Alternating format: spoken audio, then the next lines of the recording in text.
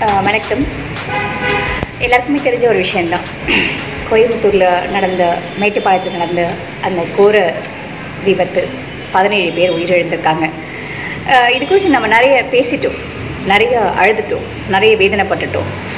இது நடந்த உடனேயே அத்தனை பேருமே குதிச்சு போகணும் ஏன்னா இங்கே பேசப்படும் போது என்ன பேசப்பட்டுச்சு ப- பட்டுச்சு அப்படின்னா ஏதோ சுவர் இடிந்து விழுந்து பதினேழு பேர் வந்து இறந்துட்டாங்க அப்படின்ற மாதிரி பேசப்பட்டுச்சு. உண்மையிலேயே அது சுவர் கிடையாது அது தீண்டாமை சுவர் அது ஒரு வன்ம சுவர். அது என் மக்களை வந்து மக்களாக மதிக்க தெரியாத ஒரு சுவர். அது குறித்து கம்ப்ளைண்ட் கொடுத்தோம். இந்த அரசு மக்களோட உயிரை குறித்து கவனிக்க தவறின ஒரு சுவர். இப்படி பல விஷயங்களை பற்றி பேசணும். வழியில் இருக்கிறவன் ஏதாவது பேசதான் செய்வான் அதை கூட பேசக்கூடாது அப்படின்னா என்ன மாதிரியான இது? சுழிச்சதுக்கும் அப்படிதான் அந்த குழந்தையோட உடம்பு எடுக்கவே இல்லை. அந்த அந்த ஆழ்துறையில் விழுந்த குழந்தையோட உடம்பு எடுக்கல. பெருசாக பிரச்சனை நடக்குதுன்னு சொல்லிட்டு உடனே இதை போட்டில் மாதிரி கட்டினாங்க. அந்த நேரம் மட்டும் அத்தனை மீடியாவும் ஆஃப் ஆகிடுச்சு அதே விஷயம் தான் இப்போ இங்கேயே நடந்துச்சு. தமிழக அரசால் முடிஞ்சது இந்த விஷயம் மட்டும்தான். சரி உங்களை எப்படியோ ஒன்று இதை போடு. ஆனால் தயவு செஞ்சு மற்ற அத்தனை பேருக்குமே நாங்கள் சொல்றது ஒன்றுன்னா பின்னங்களை வச்சு அரசியல் பண்ணாதீங்க. என்ன மாதிரியான கேடுகெட்ட ஒரு சூழல் இருக்கிறோன்ற நினைக்கும் போதே வலியா இருக்கு. இப்பதான் வந்து என்ன சொல்றாங்க? அவங்க சக்கிலியர்கள் பேசுறாங்க. இங்க வந்து பாத்தீங்கன்னா இவங்க பறையர்னு சொல்றாங்க. இதெல்லாம் எங்களுக்கு கற்றுக் கொடுத்து வளர்க்கலங்க எங்க தலைவர் திருமாவளவன் அவர்கள். அவர் வந்து இன்னைக்கு ஜெர்மன்ல பல்வேறு நிகழ்ச்சிகளில் கலந்துக்கிற சூழல் இருந்தாலும் அங்கேருந்து தவிக்கிறாரு அங்கிருந்து புலம்புறாரு. அங்கேருந்து உடனே லைவ் போடுறாரு. இவங்களுக்காக வந்து அறிக்கை விடுறாரு. ஆஹ் தம்பி நாகை திருவள்ளுவனை வந்து ஆஹ் கைது பண்ணதுக்காக வன்மையான கண்டனம் சொல்றாரு. உடனே விடுவிக்கணும்னு சொல்றாரு. அவர் அவரோட உட்பட்ட நிறைய தோழர்கள் இருக்காங்க. அத்தனை பேர் விடுவீங்கன்னு சொல்றாரு. இந்த மக்களுக்காக தவிக்கிறாரு. இங்க இருந்து இவங்களுக்கு இறந்தவங்க குடும்பத்துக்கு இருபத்தஞ்சு லட்சம் கொடுக்கணும்னு சொல்றாரு. தமிழக அரசுக்கு ஒரு கோரிக்கை வைக்கிறாரு. இவங்களுக்கு அரசு வேலை கொடுங்கன்னு சொல்றாரு. பசுமை திட்டத்தின் கீழே வீடு கொடுங்கன்னு சொல்றாரு.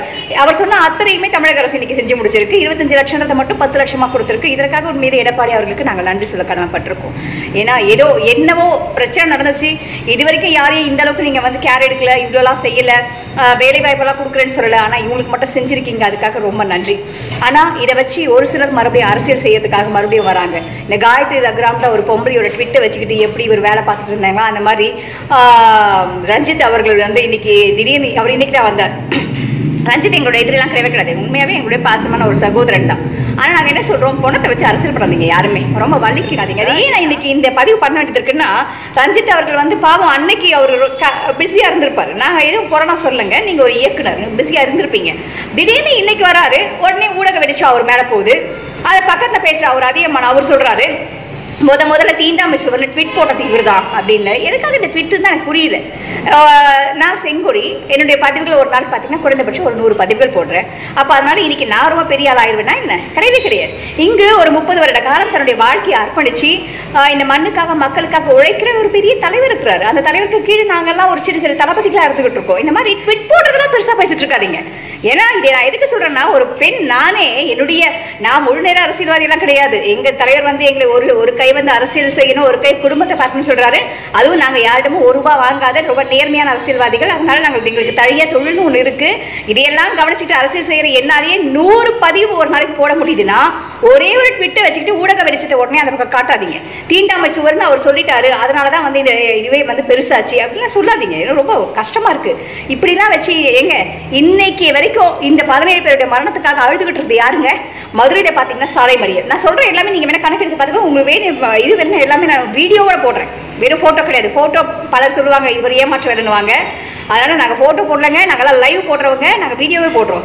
மதுரையில் மதுரையில் சாலை மறியல் பண்ணியிருக்கோம். விழுப்புரத்தில் இன்றைக்கி எங்கள் அண்ணன் சிந்தனை செல்வன் தலைமையில் பெரிய ரயில் மறியல் நேற்று விழுப்புரத்தில் சாலை மறியல். அதே போல் கடலூரில் சாலை மறியல். அதே மாதிரி பெரம்பலூரில் சாலை மறியல். மதுரையில் சின்ன சேலம் உட்பட்ட அந்த இடத்துலையும் சாலை மறியல் நடந்திருக்கு. காஞ்சிபுரத்தில் முத முதல்ல மக்கள் மன்றத்தோட இணைஞ்சி எங்களோட தோழர்கள் தான் சாலை மறியல் பண்ணாங்க. இன்னும் நிறைய சொல்லி காரைக்காலில் சாலை மறியல் இன்னும் நிறைய பட்டியல் எனக்கு வந்துட்டே இருந்துச்சு. அதனால நான் அதை மறந்துருக்கேன். இடங்களை மறந்துருக்கேன். தமிழ்நாடு அளவுல இந்த பிரச்சனையை பெரிய அளவுல கொண்டு போய் இந்த மரணங்களுக்காக ஒப்பாரி வச்சது மட்டும்தான். அதனால இன்னைக்கு வந்து ஊடகம் உங்களை பார்க்குது அப்படின்னா எங்க தலைவர் இல்லைங்க. அதனால ஊடகம் எங்க மேல படல. எங்க தலைவர் ஒரு ஜெர்மன்ல ஒரு முக்கியமான இன்னைக்கு வள்ளுவருடைய ஐம்பன் சொல்லி அந்த நிகழ்ச்சி வச்சிருக்காங்க. அதனால அங்க கலந்துக்க போயிருக்கிறாரு. அப்போ அவர் இல்லைன்றதுக்காக விடுதலை சிறுத்தைகள் கட்சியில் இருக்கிற எங்களுடைய அத்தனை பேருடைய வரிகளையும் யாரும் நீங்க மூடி மறைச்சு இன்னைக்கு சும்மா வந்து ட்விட் போட்ட ஒருத்தரை வந்து பேசிக்கிட்டு இருக்காதீங்க. யாரை பேசணும் அப்படின்றத மட்டும் சொல்கிறோம் ஒன்றுமே கிடையாது. அம்மா இறந்துட்டாங்க. இந்த பதினேழு பேரில் அம்மா இறந்துட்டாங்க. அப்பா மட்டும்தான் இருக்கிறாரு. அவர் பேர் செல்வராஜ். அவருடைய ரெண்டு பிள்ளைங்க ஒரு குழந்தை நிவேதா பதினெட்டு வயசு குழந்தை ஃபர்ஸ்ட் இயர் படித்தா இன்னொரு பிள்ளை வந்து ராமநாதன். நம்ம ப்ளஸ் ஒன் படிச்சுட்டு இருக்கான். ரெண்டே ரெண்டு பசங்க இந்த பிள்ளைகளுக்காக தான் அந்த மனுஷன் வாழ்ந்துட்டு இருந்தாரு. அந்த ரெண்டு பிள்ளைகளை இறந்து போச்சு. அந்த இறந்த வழியில் அவர் என்ன பண்ணார் தெரியுமா? கண்ணை தானமாக கொடுத்தாருங்க. கண்ணை தானமாக கொடுத்தாரு. இதை பேசுங்க. தயவு செஞ்சு ஊடகங்கள் இதை பேசுங்க. இதுதாங்க தேவையானது. உண்மையிலேயே இந்த சிவசுப்பிரமணியன்ற ஒருத்தனோட அவனா அவனுடைய கேவலமான எண்ணத்தால தான் இந்த இருபதடி சுவர் அந்த இருபதடி சுவர் வந்து என் மக்கள் இறந்திருக்காங்க. அவன் வீட்டில் ஒருவேளை குழந்தைகளுக்கு கண் இல்லைன்னா கூட எங்கள் வீட்டு ஏழைகள் கொடுத்துருப்பாங்க இறந்து போன என்னுடைய நிவேதா கண்ணை எடுத்து ராமநாதன் கண்ணை எடுத்து கொடுத்துருப்பாங்க. அதுதான் ஏழைகள். தயவு செஞ்சு இங்கே வேற எந்த சாதி இருக்கிறதா நினைக்காதீங்க. ரெண்டே ரெண்டு சாதி தான். ஒன்று இருக்கிற சாதி இன்னொன்று இல்லாத சாதி. study.